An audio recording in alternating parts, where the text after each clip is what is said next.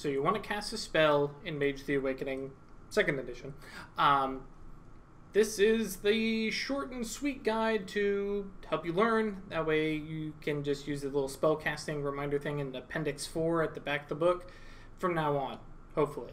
So, because spellcasting is a big thing in Mage the Awakening, what a surprise, um, getting used to this process as a player and as a storyteller really, really speeds up the game, helps the process for the whole table.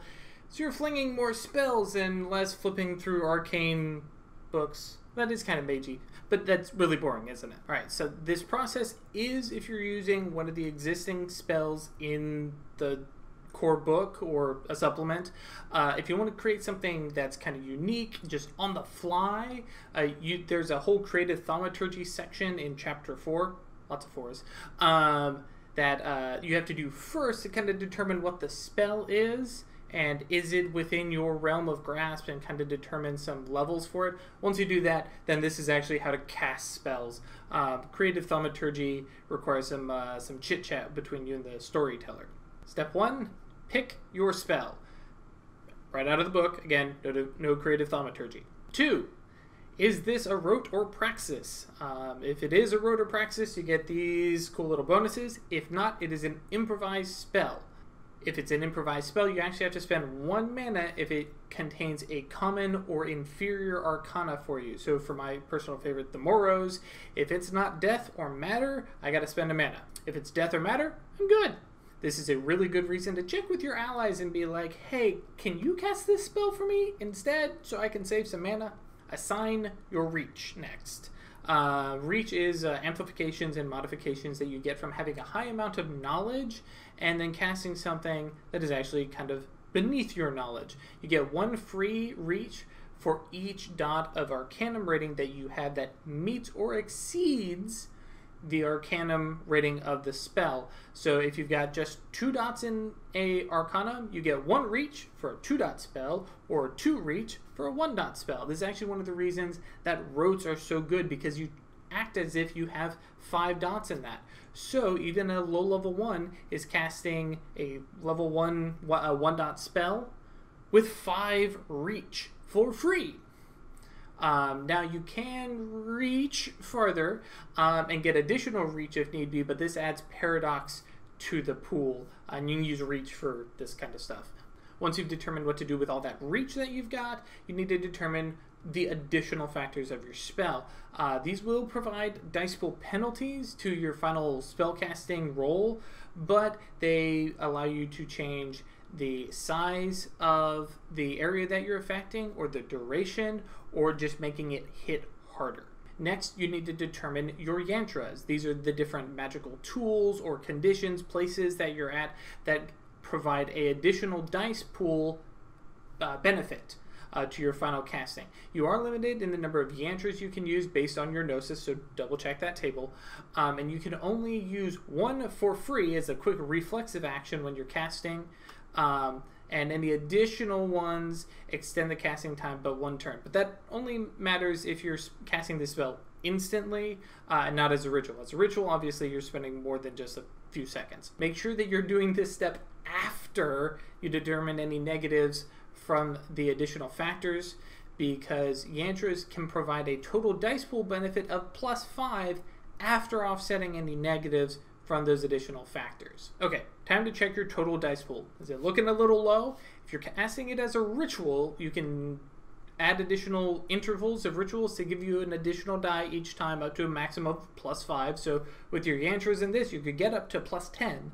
Um, but that does make it take a lot longer to cast based on your gnosis. Again, after all that, if you've got a minus six, um, sorry, you just can't cast that spell. It's just too much. Bring it, bring it down a notch. Um, but if it's negative five, all the way up to zero, even though it's a negative value, you still get a single chance dice. So, uh, you know, one in ten chance to pull it off. Good luck. But don't actually roll your uh, spellcasting just yet. We got a few more steps. Um, if you're good to cast a spell, though, uh, you need to. This is where you would deduct any mana that you need for like the inferior common arcana or to make it an indefinite duration so it just lasts until somebody comes around to, you know, dispel it. Or you can spend mana to reduce some of that paradox you may have accumulated from reach or casting it around sleepers. Um, your Gnosis is very important for this as well because you can only spend so much mana per turn. So again, if you're casting instantly, this might extend out the time you need to build up power and go all Son Goku and summon up a Spirit Bomb kind of thing, right? Okay, now to determine what to do with that paradox you may have accumulated through all this process. If you've accumulated even one point of it and then gotten rid of it through spending mana or using a dedicated magical tool, um, there's still a chance to die on that paradox pool, so we got to determine what to do with it.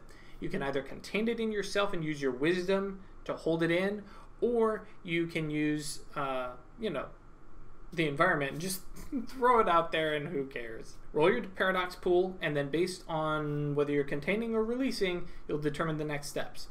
If you're containing the paradox within yourself, roll your wisdom pool. Each wisdom success removes a paradox success, but you take one bashing damage that is resistant, and you kind of just have to cure it over time naturally can't use magic on and that kind of stuff. If there are any successes left over after rolling your wisdom pool, the storyteller will apply a paradox condition to your character, but that's it. However, if you're releasing paradox, every success that the paradox pool shows up, the storyteller gets one free reach to basically mess with your spell in numerous different ways, and I'll just leave that to the storyteller to look up. But it also provides a penalty to your spellcasting roll, which is coming up next. So if you're already at negative 5 and then decide, here's some paradox, and now you're negative 6, you're going to inflict the paradox and nothing's going to happen. But by releasing paradox, you don't actually get any paradox conditions on yourself just off the bat.